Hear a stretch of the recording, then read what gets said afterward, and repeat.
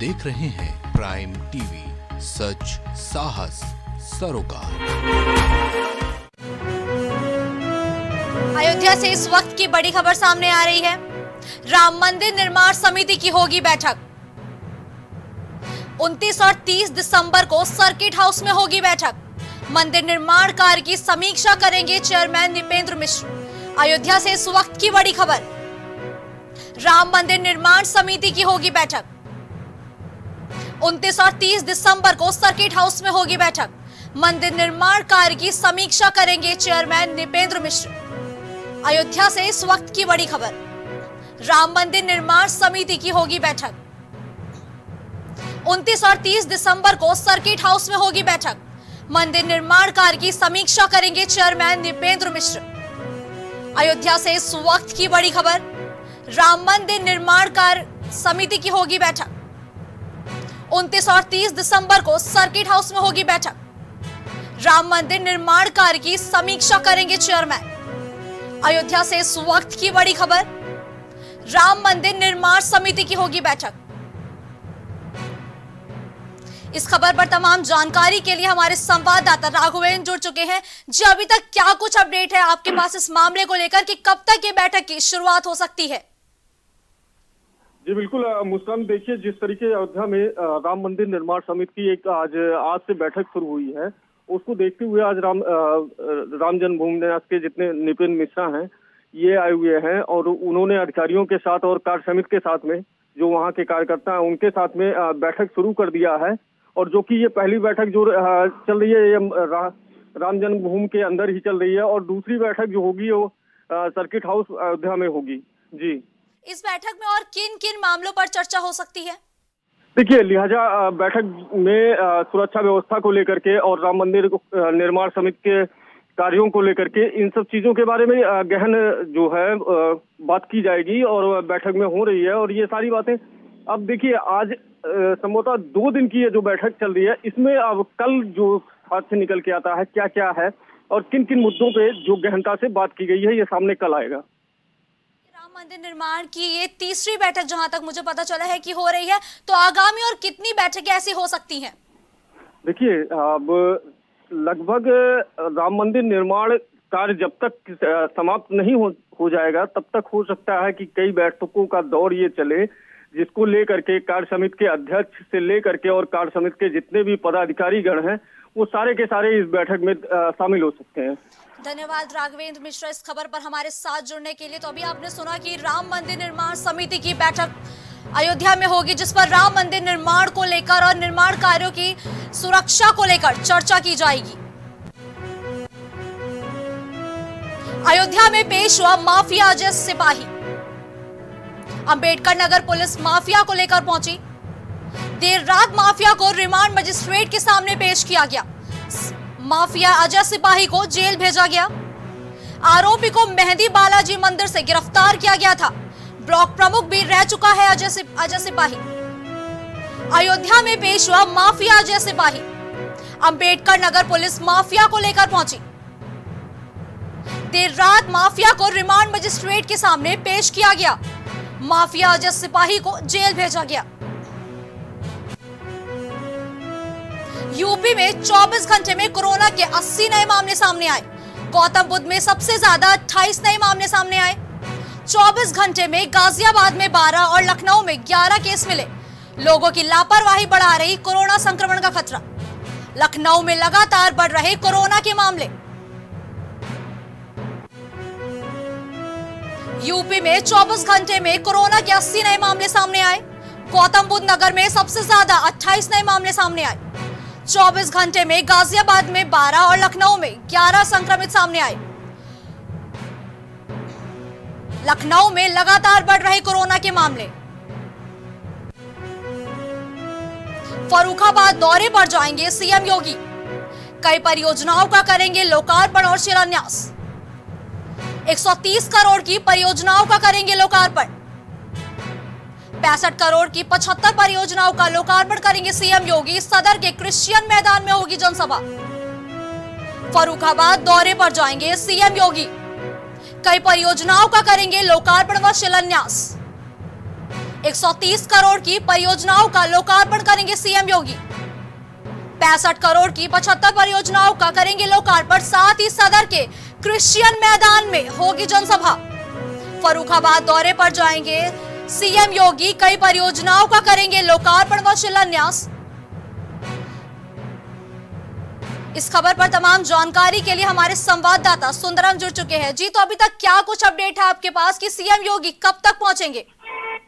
जी मुख्यमंत्री जी के कार्यक्रम को लेकर यहाँ पे जो तैयारियाँ हैं वो लगभग पूर्ण कर ली गई हैं। सीएम योगी यहाँ पर बारह बज के पच्चीस मिनट पर उनका हेलीकॉप्टर लैंड होगा और बारह बज के तीस मिनट पर वो सभा स्थल पे पहुँचेंगे और लगभग यहाँ पे वो एक सौ सोलह करोड़ से अधिक की परियोजनाओं का शिलान्यास भी करेंगे और बहुत सारे उसमें जो फरुखाबाद को दी जाने वाली सौगातें वो भी देंगे। सुंदरम जी, ये बताइए कि सुरक्षा व्यवस्था वहाँ पे कितनी सजग है? जी, सुरक्षा व्यवस्था की बहुत ही बेहतरीन तैयारियाँ की गई हैं। ग्यारह सौ से अधिक पुलिस कर्मियों को लगाया गया है और पूर्ण रूप से जो एरिया है, उसको कवर भी किया गया है। जो उनसे भी निगरानी की जा रही है, सुरक्षा व्यवस्था में जो अधिकारी हैं, लगे हुए हैं।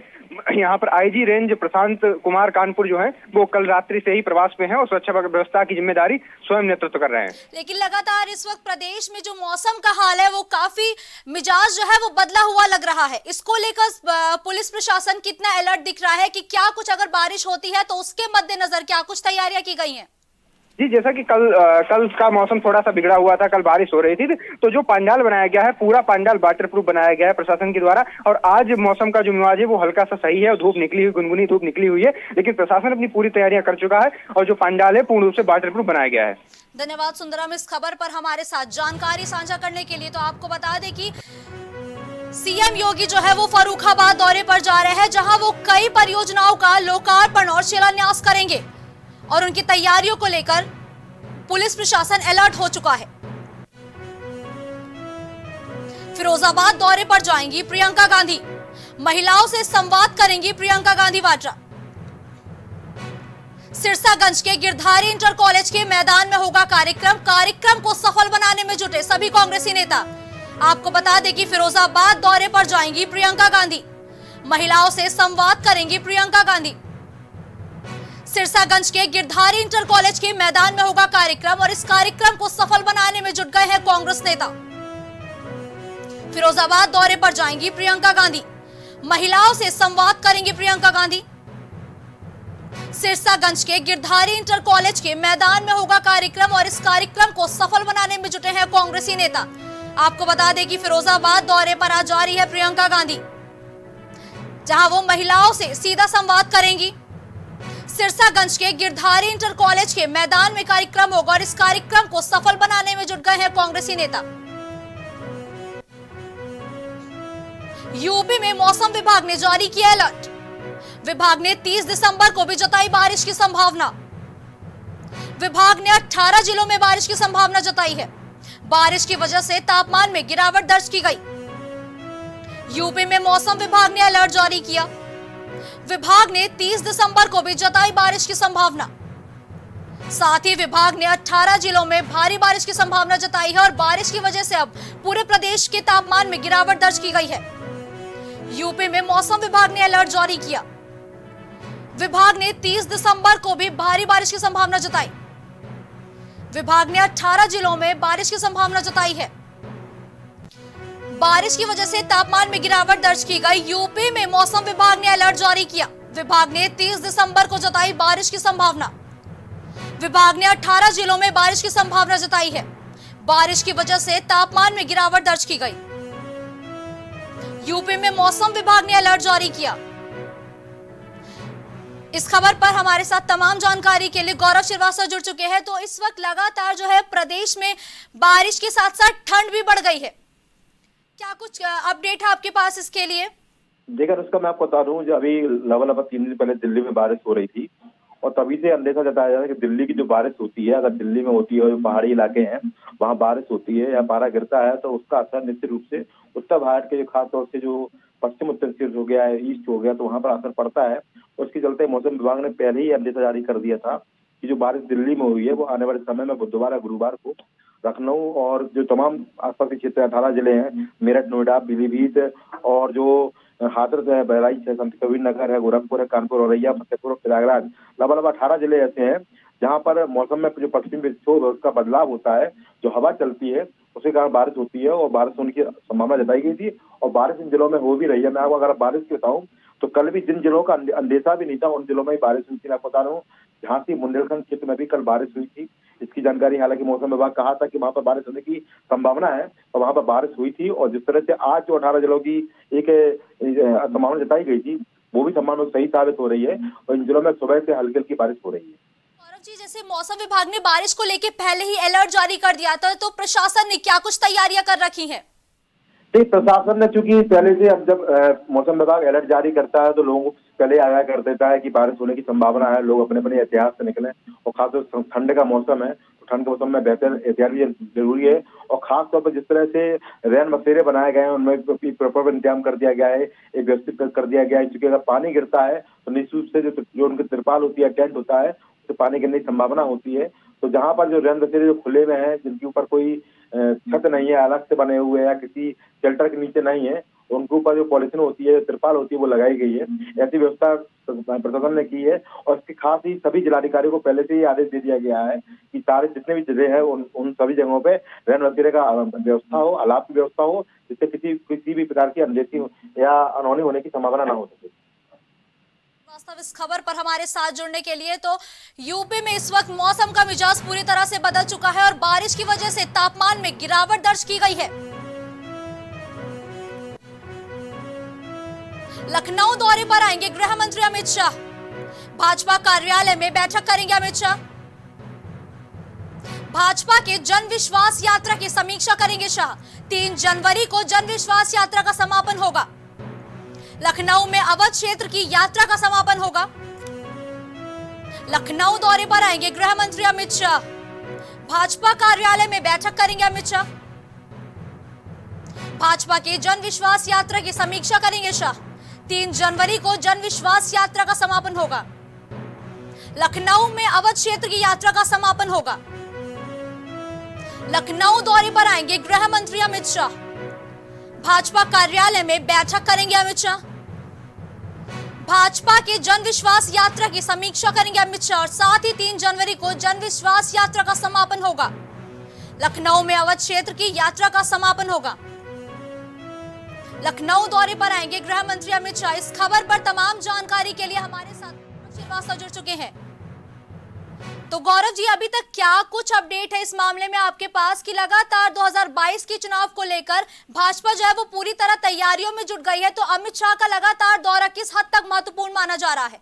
देख, मैं बता जिस तरह से जब देखा गया था कि पश्चिम क्षेत्र में नुकसान हुआ था किसान आंदोलन के चलते, एक शुरू से व्यवस्था बनाई गई थी कि दोबारा सत्ता में आने के लिए लगातार सम्मेलन भी किए जा रहे थे और रैलियाँ भी हुई थी। उसके बाद बूथ अध्यक्ष सम्मेलन भी किए गए थे। उसका माना जाता है कि बीजेपी बहुत जल्दी कोई विशेष कार्यक्रम निकालेगी और विशेष कार्यक्रम हुआ। उन्नीस दिसंबर से छह स्थानों से जन विश्वास यात्रा की शुरुआत हुई है, जो कि पूरे चार सौ तीन विधानसभा क्षेत्रों से गुजर रही है। मैं बता दूँ, अमित शाह के भी लगातार दौरे हुए प्रधानमंत्री नरेंद्र मोदी भी लगातार उत्तर प्रदेश में आ रहे हैं। अगर मैं अठारह दिसंबर से लेके और कल अट्ठाईस दिसंबर तक की बात करूँ, चार बार यहाँ पर आए हैं और चार बड़े कार्यक्रम में उन्होंने शिरकत की है और जनसभा को संबोधित किया है। और जो जो अमित शाह का मैं बताऊँ, अमित शाह भी लगातार रैलियाँ कर रहे हैं, क्योंकि आबाद और काफ़ी क्षेत्र के वो प्रभारी भी हैं। और खास तौर पर लखनऊ में पन्ना प्रमुख हुई है, पन्ना प्रमुख की भूमिका आपको पहले जानकारी है। तो माना सकता है कि अमित शाह चूँकि गृह मंत्री है और सहकारिता मंत्री भी है केंद्र सरकार के तो बड़ा उनका पद है और उसके हिसाब से गहन अनुभव भी उनका रहा है। इसलिए उनके द्वारा लगातार रैलियाँ भी की जाएँगी और जन विश्वास यात्रा, जो अवध क्षेत्र जन विश्वास यात्रा है, उसका समापन आगामी तीन जनवरी को 2022 को किया जाएगा। उसको चलते ही वहाँ पर एक बड़ा कार्यक्रम भी होगा और उसके लिए तैयारी चल रही है और बीजेपी कार्यालय में लगातार संगठनों की बैठक भी चल रही है, जिसको अमित शाह संबोधित करेंगे और जानकारी लेंगे किस तरह से आने वाले समय में और रूप तैयार हो सके कि बीजेपी दोबारा दो हज़ार बाईस में सत्ता में आ सके। धन्यवाद गौरव श्रीवास्तव इस खबर पर हमारे साथ जुड़ने के लिए। तो लखनऊ दौरे पर आएँगे गृह मंत्री अमित शाह, जिसको लेकर प्रशासन ने तैयारियाँ तेज कर दी है और भाजपा के जन विश्वास यात्रा का समापन करने पहुँचेंगे अमित शाह। कई जिलों के दौरे पर जाएँगे सीएम योगी आदित्यनाथ। फरुखाबाद अमरोहा और गोरखपुर का करेंगे दौरा। नए स्कूल के लोकार्पण और शिलान्यास कार्यक्रम में होंगे शामिल। फरुखाबाद में एक सौ चौहत्तर विकास परियोजनाओं की देंगे सौहार्द। बीजेपी जन विश्वास यात्रा में शामिल होंगे सीएम योगी। गोरखपुर नगर निगम के नवनिर्मित भवन का लोकार्पण करेंगे सीएम। कई जिलों के दौरे पर जाएँगे सीएम योगी। फरुखाबाद अमरोहा और गोरखपुर का करेंगे दौरा।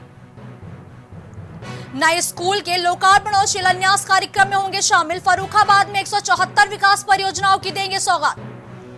बीजेपी जन विश्वास यात्रा में शामिल होंगे सीएम योगी।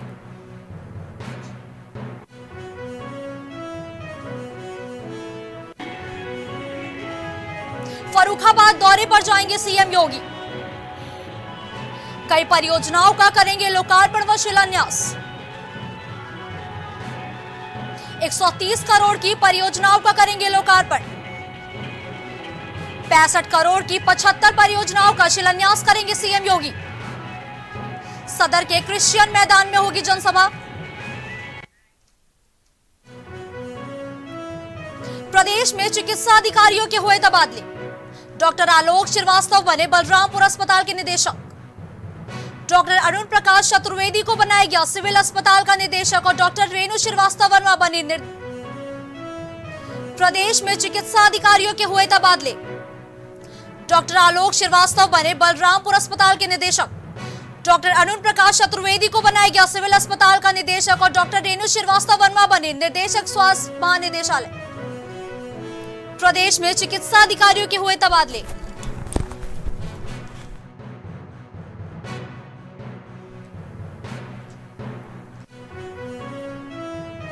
फतेहपुर में स्वास्थ्य विभाग की लापरवाही आई सामने। अस्पताल में गायब हुई बिजली। बिजली गुल होने से मरीजों और डॉक्टरों को हो रही परेशानी। मोबाइल की टॉर्च से डॉक्टरों ने मरीजों की जाँच की। सिटी स्कैन के इंतज़ार में अस्पताल में बैठे दिखे मरीज़। फतेहपुर में स्वास्थ्य विभाग की ला, लापरवाही आई सामने। अस्पताल में गायब हुई बिजली। बिजली गुल होने से मरीजों और डॉक्टरों को हुई परेशानी। मोबाइल की टॉर्च से डॉक्टरों ने मरीजों की जाँच की। सिटी स्कैन के इंतज़ार में बैठे दिखे मरीज़। फतेहपुर में स्वास्थ्य विभाग की लापरवाही आई सामने। अस्पताल में गायब हुई बिजली। कन्नौज से इस वक्त की बड़ी खबर। पीयूष जैन के पैतृक आवास पर छापेमारी का मामला। छापेमारी के दौरान सोना सोना लेकर गई डीजीजीआई की टीम। डीजीजीआई की टीम को मिला 23 किलो सोना। तो बैग लेकर जाते दिखे अधिकारी। कन्नौज से इस वक्त की बड़ी खबर। पीयूष जैन के पैतृक आवास पर छापेमारी का मामला। छापेमारी के दौरान सोना लेकर गई डीजीजीआई की टीम। डीजीजीआई की टीम को मिला 23 किलो सोना। दो बैग लेकर जाते दिखे अधिकारी। कन्नौज से इस वक्त की बड़ी खबर सामने आ रही है। पीयूष जैन के पैतृक आवास पर छापेमारी का मामला। इस खबर पर हमारे साथ और जानकारी के लिए राम ऋषि जुड़ चुके हैं। तो जी राम ऋषि जी लगातार डीजीजीआई की टीम की छापेमारी जारी है और अभी क्या कुछ इस मामले में अपडेट मिली है आपके पास की और क्या कुछ पीयूष जैन की पैतृक आवास से बरामद हुआ है? जी उन्नीस करोड़ कैश बरामद हुआ है। टीम जो है यहाँ से रवाना हो गई है और कल रात में रवाना हुई है। ऐसी खबरें भी आ रही है कि उनके पैतृक आवास से सोना भी बरामद किया गया है। जी तेईस किलो सोना बरामद हुआ था। जी धन्यवाद इस खबर पर हमारे साथ जुड़ने के लिए। तो कन्नौज से इस वक्त की बड़ी खबर बता रहे हैं जहाँ पीयूष जैन के पैतृक आवास पर छापेमारी के मामले से जुड़ी बड़ी खबर सामने आ रही है। लखीमपुर खीरी में ट्रैक्टर बना आग का गोला। किसान के ट्रैक्टर में आग लगी।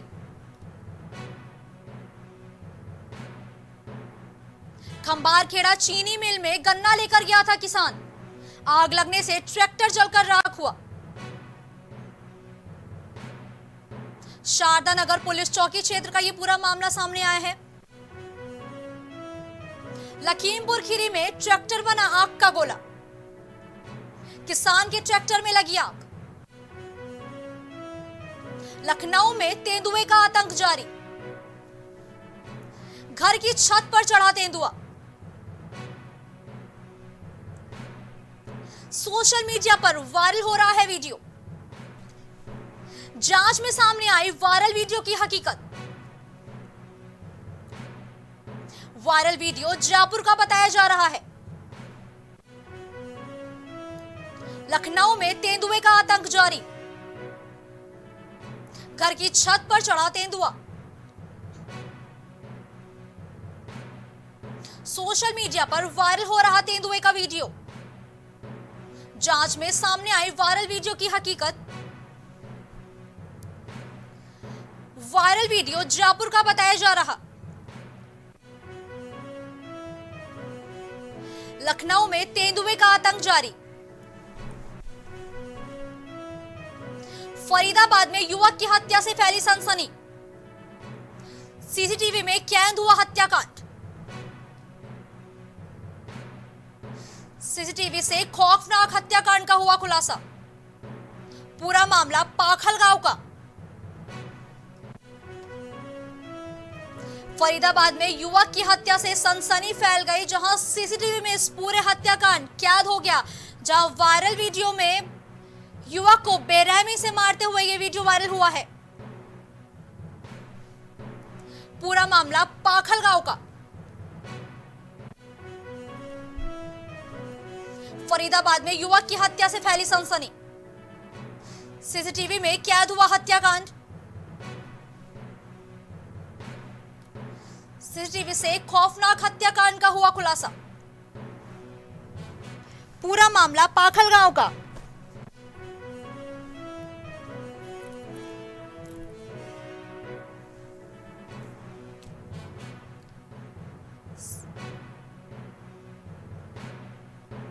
खबर पर तमाम जानकारी के लिए हमारे संवाददाता मनोज जुड़ चुके हैं।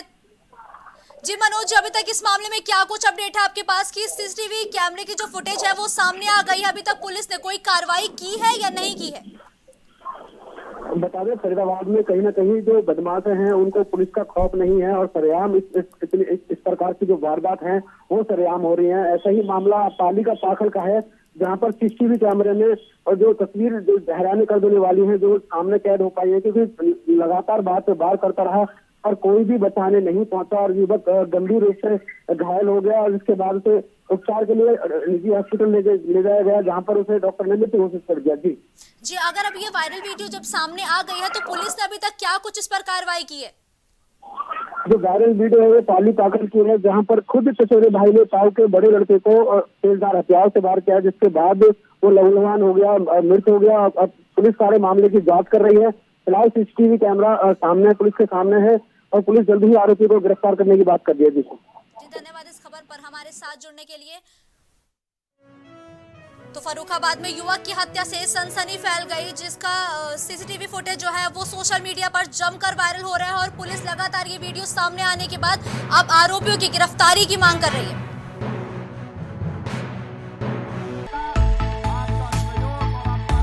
कुछ पुष्प।